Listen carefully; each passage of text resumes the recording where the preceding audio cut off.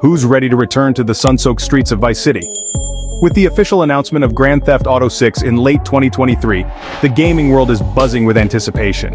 Yet, recent reports suggest that this long-awaited trip back to the iconic cityscape might face some delays. Insiders at Kotaku have hinted at a potential release delay, pushing the game's launch back to late 2025 or even 2026. The root of these delays? A decision by Rockstar to return to in-person office work. Designed to boost productivity and security, this move has nonetheless sparked concerns among staff, with fears of a return to the infamous crunch culture. Originally, Rockstar set its sights on releasing the game in spring 2025. However, with the recent developments, a fall 2025 launch seems more likely.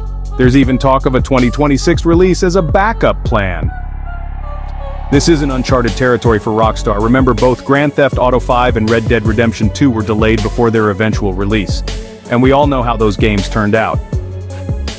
Both were wildly successful, critically and commercially. While some may view these reports as nothing more than controversy-stirring, it's crucial to consider the well-being of the game developers.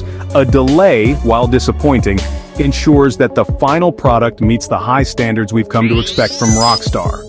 The anticipation for Grand Theft Auto 6 is palpable, and any delays could certainly have an impact, especially on Sony's plans if the game's release aligns with the launch of the PS5 Pro.